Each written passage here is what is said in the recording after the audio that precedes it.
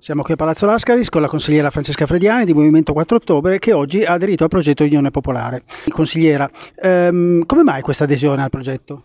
Ma ho formalizzato un qualcosa che in realtà avevo già comunicato durante la scorsa campagna elettorale nazionale perché credo che questo progetto possa dare un'opportunità a tutti coloro che non riescono più a trovare risposte negli altri partiti. Eh, purtroppo le ultime elezioni ci hanno dimostrato che molte persone non hanno più fiducia nella politica e io stessa devo dire che avevo perso fiducia nella politica pur praticandola quotidianamente perché non mi sentivo più parte di un eh, progetto generale, quindi la possibilità di eh, tornare a far parte di un qualcosa, quindi di un sistema di persone che credono in qualcosa e portano avanti degli obiettivi, sicuramente è stata la prima molla che mi ha spinto verso questa scelta.